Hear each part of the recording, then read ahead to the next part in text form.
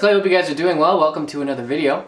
This is going to be a demonstration of this little guy right here. This is a Behringer C2 microphone, and we're going to just do a quick little test on acoustic guitar.